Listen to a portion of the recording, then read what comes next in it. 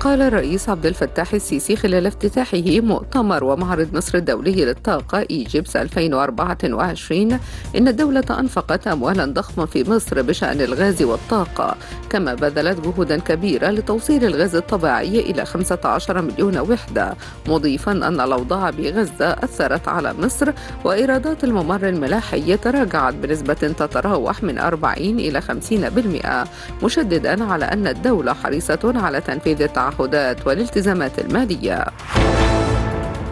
استقبل الرئيس عبد الفتاح السيسي الرئيس التنفيذي لشركة بريتش بتروليوم على هامش مؤتمر إيجيبس 2024 مؤكدا الأهمية التي توليها الدولة لتيسير عمل الشركات العالمية والقطاع الخاص في مجال البترول والثروة المعدنية مثمنا النشاط المميز للشركة وحجم استثماراتها المتنامي في مصر ومشروعاتها الاستكشافية في قطاعي الغاز والبترول. شدد وزير الخارجية سامح شكري خلال استقباله وفدا من مجلس النواب الأمريكي برئاسة زعيم الأقلية الديمقراطية بلجنة الخدمات العسكرية على رفض مصر العملية العسكرية الإسرائيلية في رفح الفلسطينية وأية إجراءات تدفع نحو تهجير المواطنين الفلسطينيين خارج قطاع غزة.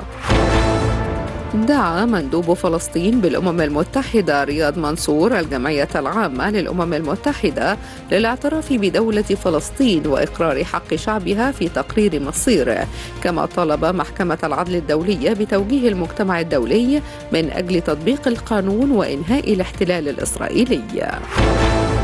أعلنت وزارة الصحة الفلسطينية أن الاحتلال الإسرائيلي ارتكب تسع مجازر في قطاع غزة. راح ضحيتها 107 شهداء و145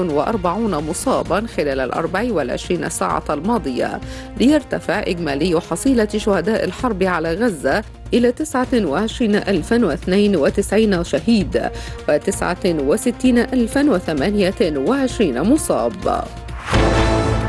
تابع رئيس الوزراء مصطفى مدبولي جهود توطين صناعة الطلمبات لتلبية احتياجات المشروعات التنموية والخدمية مشيرا إلى أن الحكومة تدعم بصورة قوية صناعة الطلمبات في مصر سواء من خلال الجهات الحكومية أو شركات القطاع الخاص. مضيفا أن هناك حجم عمل كبير تشهده المرحلتين الثانية والثالثة من المبادرة الرئاسية حياة كريمة كذا مشروعات الأخرى بالمدن القائمة والجديدة.